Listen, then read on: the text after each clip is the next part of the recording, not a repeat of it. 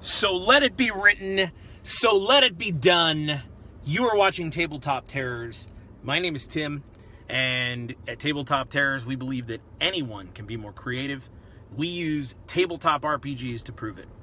This is Offhand Attack, random, interesting streams about creativity and tips and tricks for tabletop RPGs.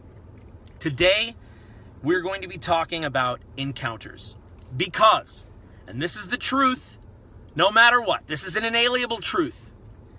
Every game master is looking for an encounter idea always. And so today we're going to talk about how you can get brand new encounter ideas uh, and be focused, and we're going to talk about that. However, I want to make it clear that we are not going anywhere until we do a Tabtarian toast. I got this blue monster here uh, because it was like 40 degrees in Florida this morning. So she's as cold as ice. So raise your drinks with me, Tabtarians. May you mend the first break. May you kill the first snake. And may you conquer everything you undertake. Sláinte. All right, I got my notes here. The reason why I have notes is because this is actually a blog article.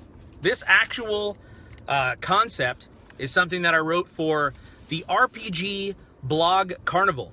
If you're familiar with Johnn Four, who's been around in the RPG community since 1999, uh, he's got a newsletter, he's got a website, he's got some online tools and things like that.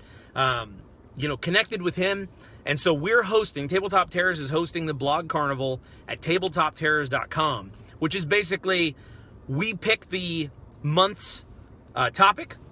We read our article, and then other cool bloggers uh, around the RPG blogosphere post articles, and then I post links in the comments to theirs, and they post links in the comments to mine, so everyone gets to see each other's. So that is what Blog Carnival is. But this is Offhand Attack. This is a live stream. Let's see who's here today. Joshua Law is here, Josh Glisson, Stephen Back, Jeremy Lilly. Already, the awesome is up to here.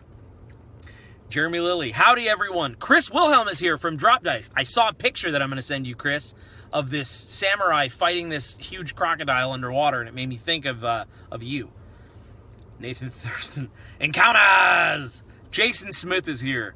Morning, folks. Hey, hey, Nathan Crouch. Drake Warren, a prolific and amazing Dragon Grin Dungeon Master, a man after my own heart, is here. Afternoon. Stephen Back says, Ah, damn, I'm out of monster. Well, I got one right here, buddy. This is for you. One for you and one for my homies. You are my homies. I did that wrong. Josh Glisson, what's up? Greetings, heroes, says Jacob Norman. Joshua Law. Alan Holloway is here, another phenomenal Dragon Grin Dungeon Master. Um, man, just a good stream today. Josh Glisson, Blood Carnival. You're a carne carne now. All right, so encounters. Like I said, and this is the truth, inalienable. If you're a game master, you're looking for an encounter idea. You are. You have a game coming up. You need one. And we all do the same things, whatever your pattern is, whether it's Google D&D encounters. You're surfing Reddit. You're looking for blog posts. Well, let's talk about this because I think this process has helped me a ton. And the first thing is, you, this is not going to be a surprise to you, is you're going to write a mission statement. So I'm really big on this right now. I'm really big on writing a mission statement. And here's why.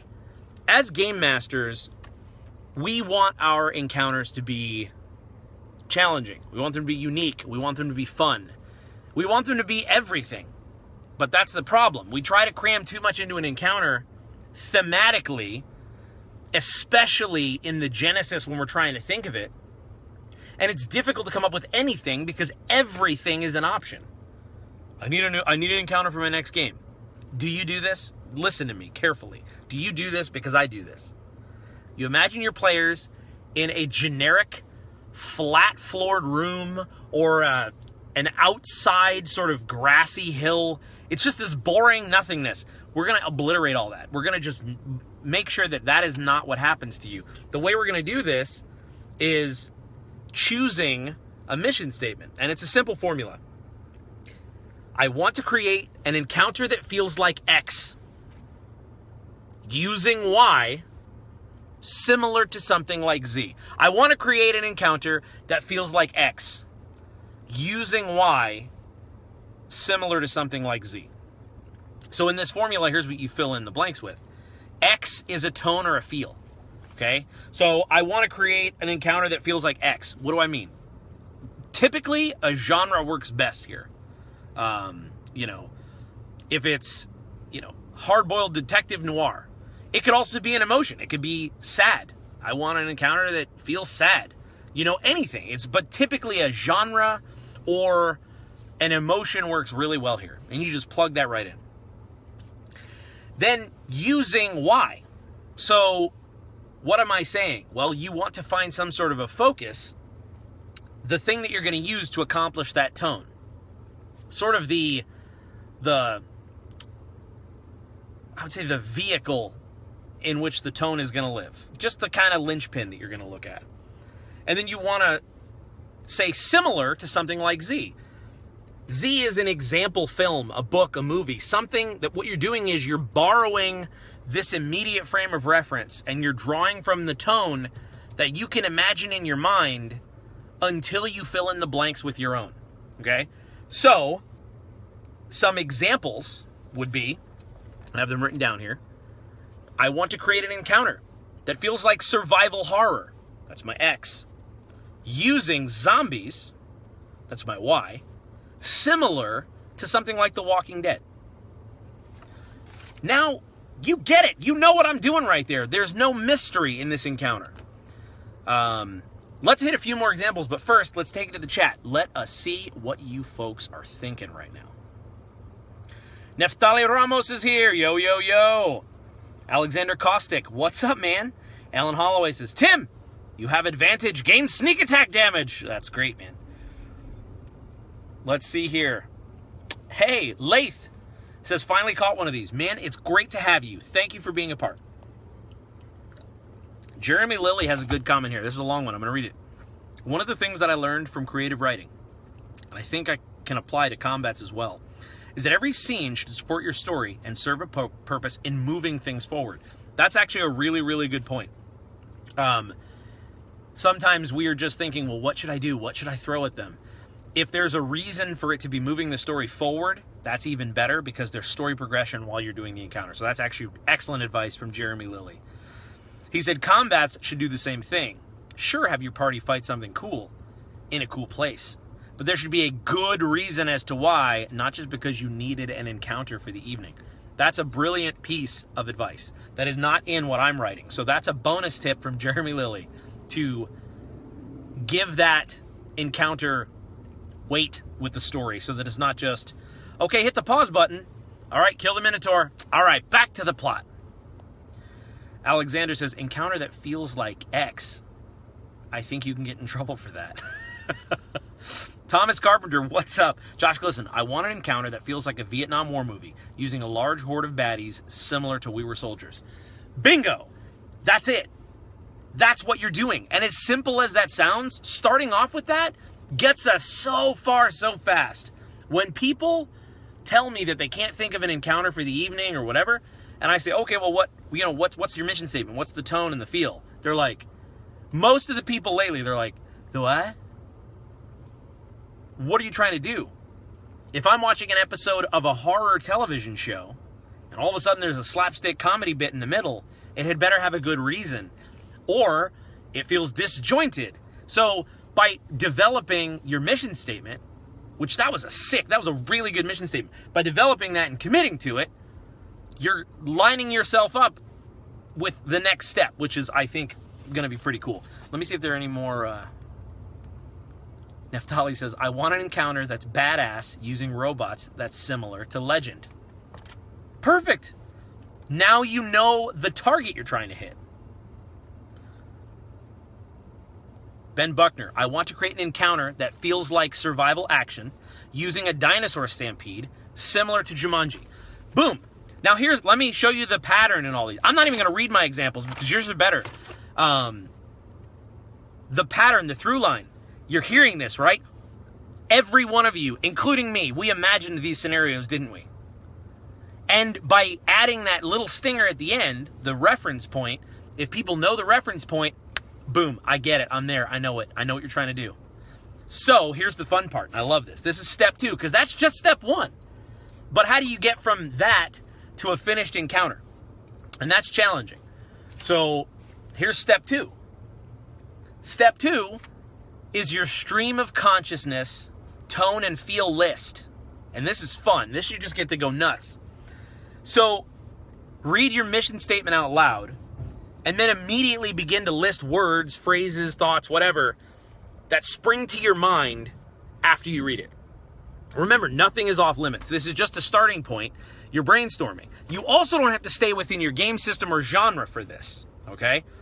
So I am going to stick to uh, one of the ones that I put on the paper for the rest of the example so that I can continue with the the finished work I've done without having to kind of feel my way around. But one of the ones I put here is I want to create an encounter that feels like a high octane action sequence using a train rescue similar to something like the Expendables.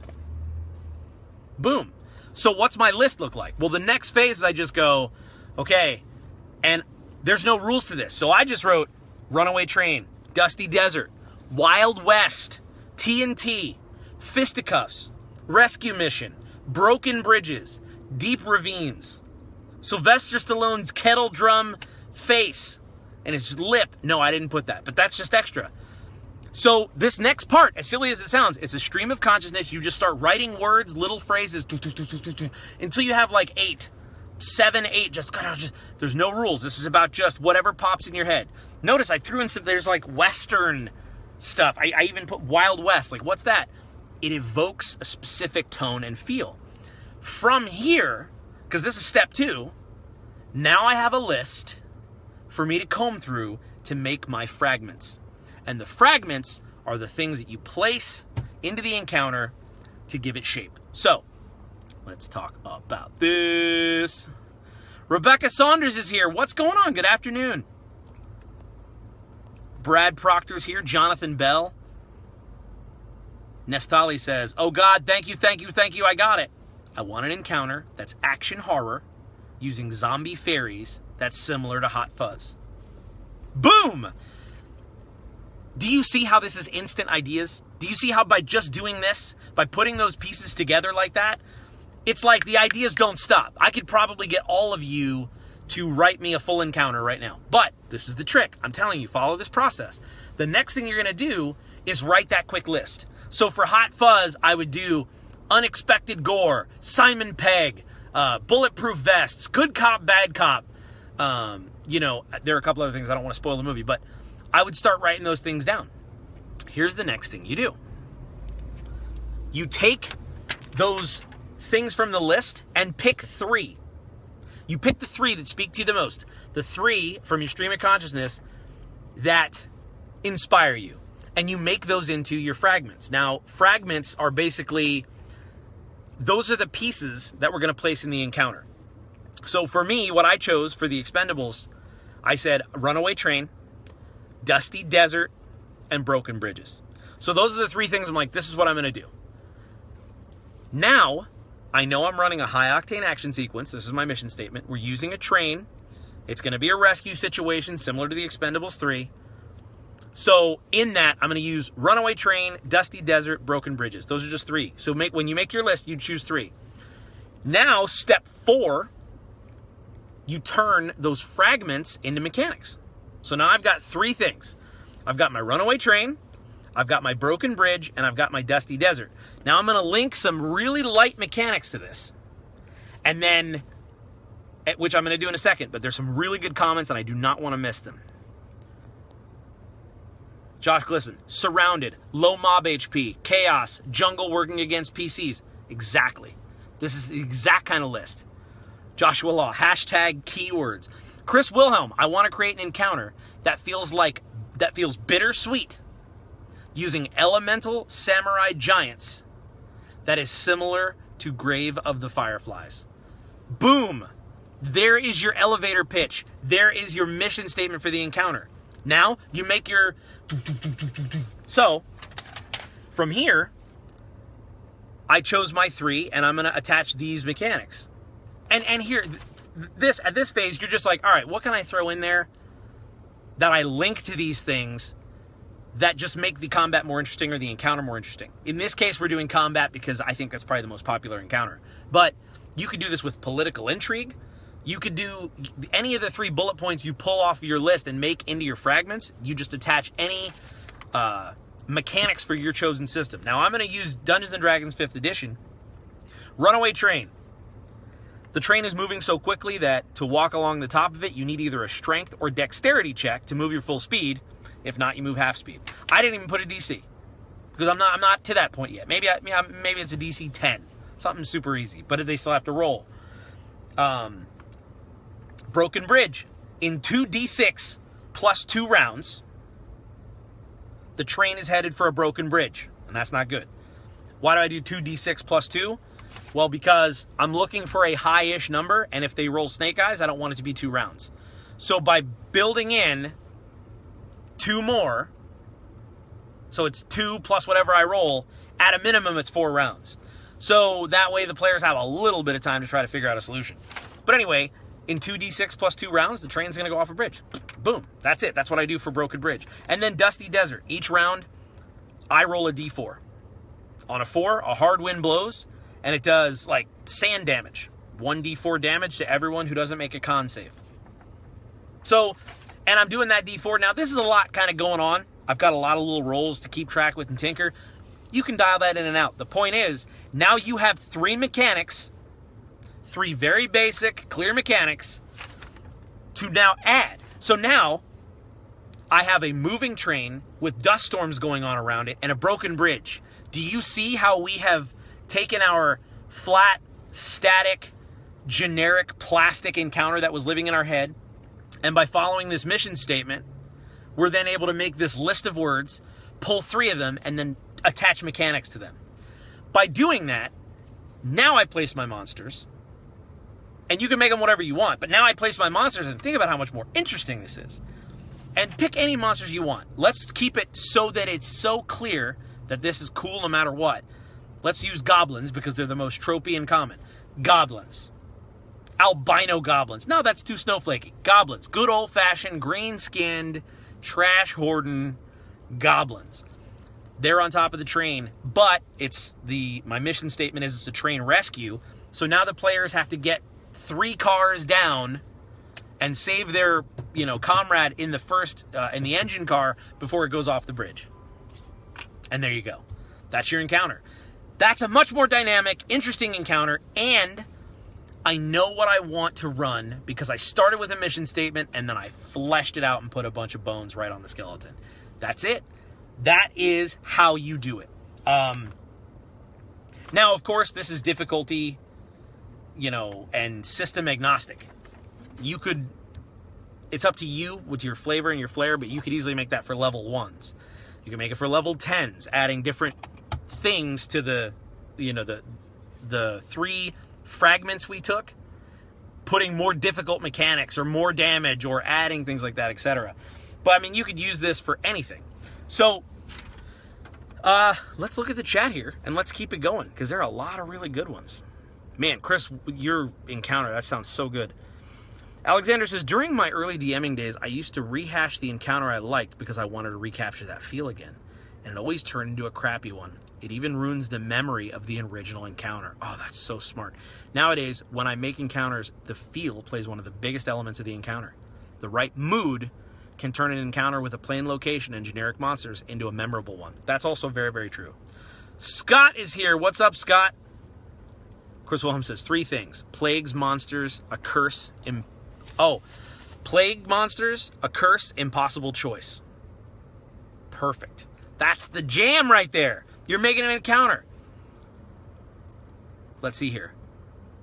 Krishna Sami, did I say that right? Krishna Sami says, much love from India. What's up, man? Much love. Wilhelm, plague monsters. They're twisted monsters that inflict poison damage. Monsters are cursed. They were once good, but could be saved. And then to save the people, another group must die. Boom. Now you have a mechanic. And everything you just said lines directly up with your mission statement so that you're not outside of your tone and your field. By giving yourself direction, we thrive. If you liked this stream, check out the article. It's right now, it's the, the uh, main article on tabletopterrors.com. You can check it out. Um, and this is part of the magnificent and prolific bar, uh, blog carnival. Like I said, Johnn Four is the mastermind behind it, and different blogs host it every month.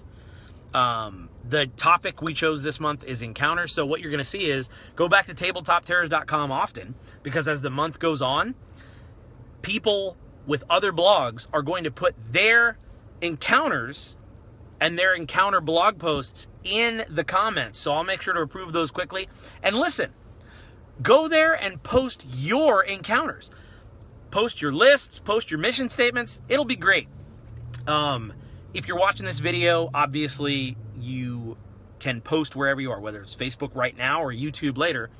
Post on here. What are your mission statement? What are your mechanics? What fragments do you choose? I want to know all of it. We'll take a couple more comments and then we'll call it a stream. Oh, wow, I pronounced it right. Josh Glisson, I've got the gist. Since I want the game I'm working on to feel like a Vietnamese movie that fills the first part of every encounter, the rest is which movie and what aspect makes it resonate. That's perfect. And by doing it, and the more you do this, the more specific you can get with your X, your Y, and your Z. So as you get better and better at this, you know your own brain and you can get a little more detailed with, you know, you know, if you go back to your example film, when you go to X, you could say, I want it to feel like the Russian roulette scene from Deer Hunter. Like that could be the feel you're going for. It's very specific. Um, but again, that's kind of changing the formula a little bit. As you get better, you'll develop your own version of this so that it's like, yep, but then everything that you put in there can follow these guidelines and things won't feel disjointed and you'll always have, I think, way more ideas because you have a target to hit. Where most people get tripped up is that they don't know where to start and they just don't have any ideas.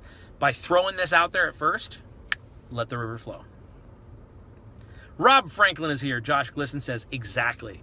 Um, listen, we love you, and I love doing these streams. Keep an eye out because soon you're going to start seeing daily damage, which I think is going to be mostly world building, uh, but other questions and conversations. That's going to be live 10 p.m. Easterns on most weeknights. So offhand attack is going to continue. That's going to be these videos from the car, just kind of like, hey, what are we doing? Offhand.